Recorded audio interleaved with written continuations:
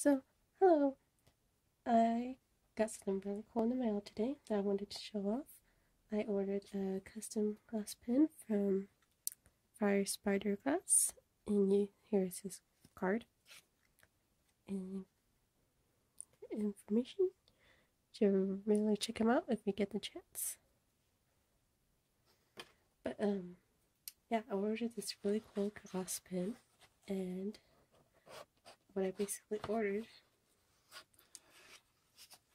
It's, here it is. Here it is still in its package. it is so so so pretty. Um so I ordered was basically the void fish jelly. And gosh, it came out amazing. Look at this. It is just so pretty and I'm so happy with it. Anyways, um I just wanted to show this off and yeah okay um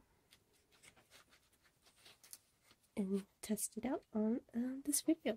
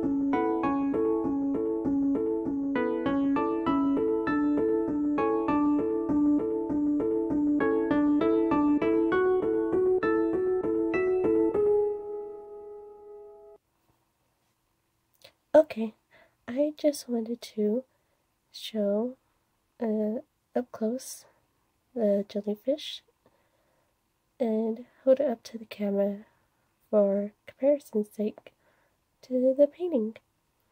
I think I did a fairly good job at replicating the tiny little jellyfish in my pen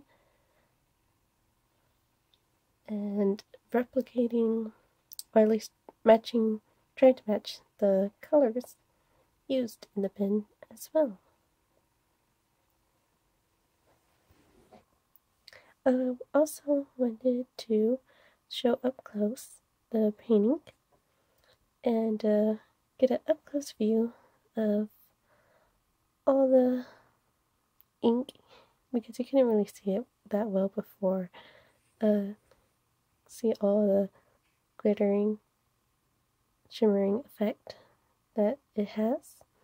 I think the pearl white came out especially well for the stars. And I just wanted to move the painting a bit to show off that shimmering effect again. And yeah. And these are all the tools I used to make this painting. On the right we have the inks, the Daler Rowney FW pearlescent inks. On the left I have my Winsor Newton Cotman watercolor set. And of course I also have my beautiful jellyfish glass pin. And I think that's about it for this video. Thank you for watching and have a great day.